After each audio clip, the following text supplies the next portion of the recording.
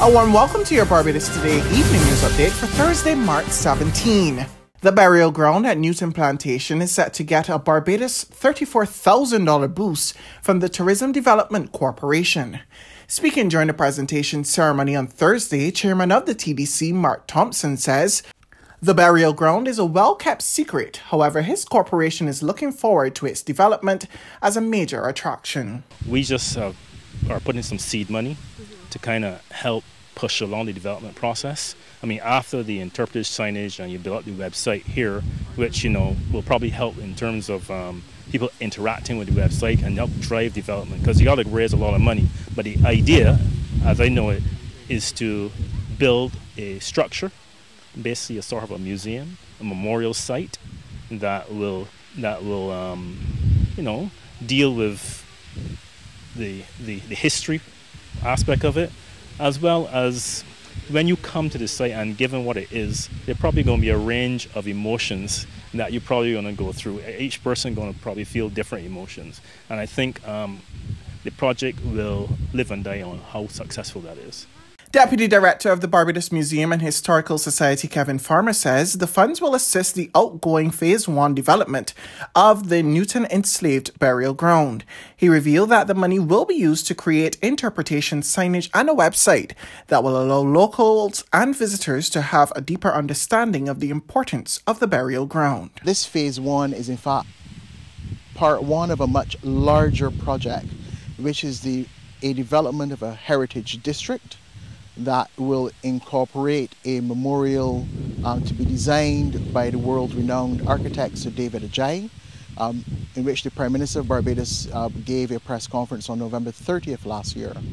And that memorial is to break ground in November of this year and is expected to be, I think, uh, finished within a year to, I believe, 18 months. And it is about the memorialization of what is one of the more unique burial grounds in this hemisphere. Uh, Newton is in fact the space where one can actually locate the burial ground for the enslaved who worked on a particular plantation. Um, that is extremely rare and quite unique. In other news this Thursday, a call to parents to be on the lookout for signs of random bruising and bleeding on their children. It's coming from registered nurse Virginia Leandre Broom, who says it could be the first sign of hemophilia, a condition that causes bleeding or bleed for no obvious reason and without a known injury. Leandre Broom says even though cases on the island are low, it should not be dismissed.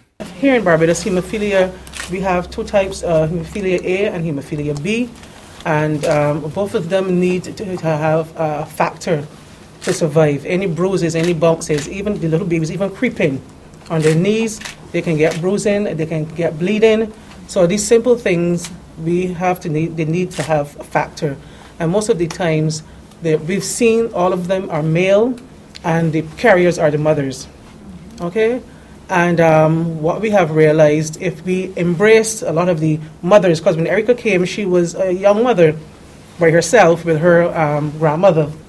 And um, she was crying, crying all the time because she did not understand what was going on. They told her if, her, if, she, if the child falls off the bed, he can bleed and die or if he creeps too much, he can get bruised, or if he plays because he likes to play cricket. He was never a child that kept quiet.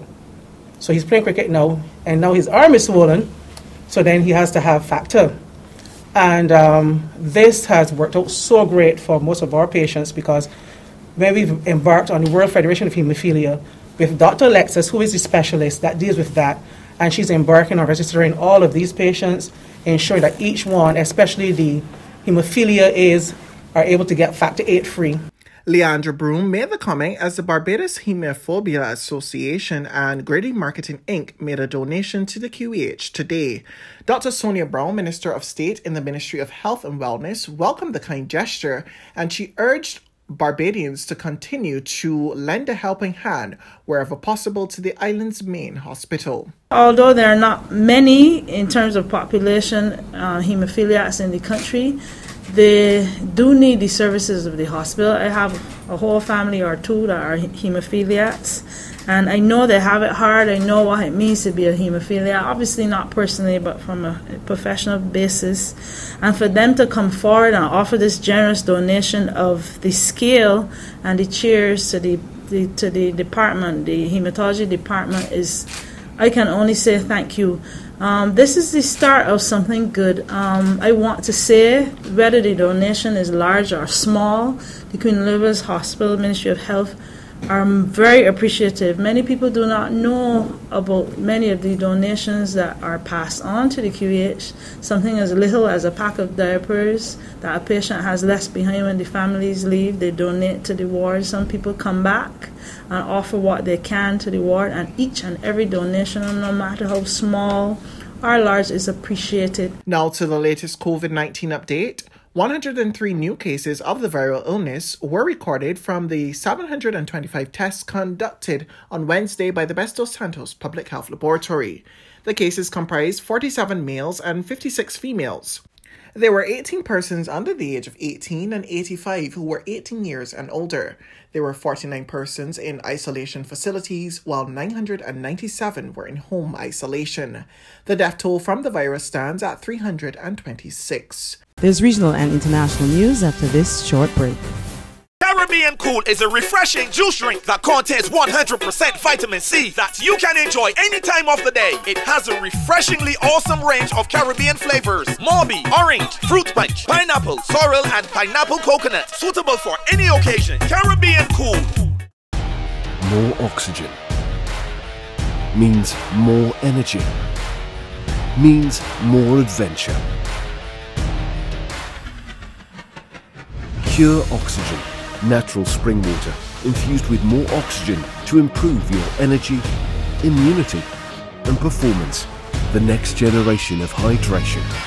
Pure Oxygen, nature's ultimate water.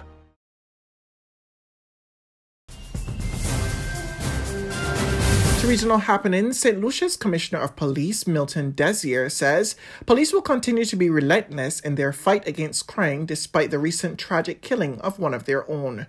More in this report from HTS News Force. Constable Timet was shot dead by gunmen who seriously wounded his partner, Isaac Calvin. Calvin is currently listed in critical condition at hospital.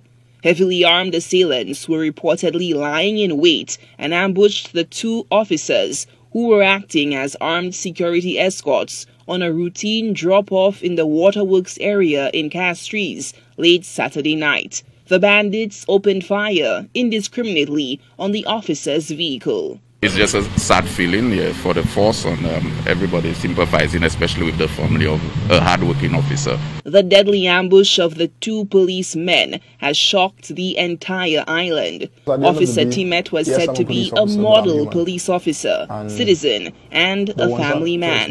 He reportedly worshipped regularly at the Grand Riviere Roman Catholic Church. That community and fellow parishioners are said to be devastated by the news of this appalling slaying.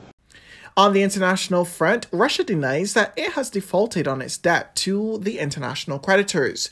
The country said on Thursday that it has made payments due to two bonds, but some creditors say the funds have not been received, leaving it unclear whether the country faces its first default on international debt in more than a century. We get the details from Reuters TV.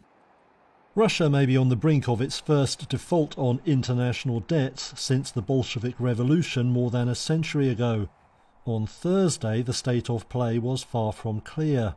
The previous day, Moscow had been due to pay $117 million in interest payments on two dollar denominated bonds. Some creditors told Reuters that the funds had not been received. A raft of international sanctions complicates the already complex transactions involved, not least as Russia's central bank is among the institutions targeted. However, the Kremlin insists the payments have been made. Officials said Thursday that they would update the market later on whether the money had reached Citibank, the payment agent.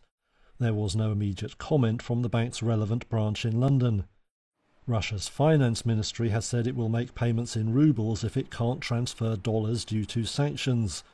However, ratings agency Fitch says that would still constitute a default if it's not corrected within a 30 day grace period. That's news, but for the very latest, you can visit us at www.barbadostoday.bb. You can also subscribe to our e-paper email updates or like us on Facebook and sign up for our breaking news alerts via WhatsApp. We're also on Izumi Media and Bus terminals as well as screenplay at supermarkets and gas stations near you. You can also hear us on Capital Media HD 99.3 FM.